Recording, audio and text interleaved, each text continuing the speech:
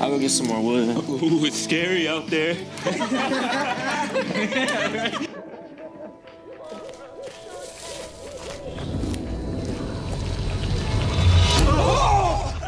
Oh man!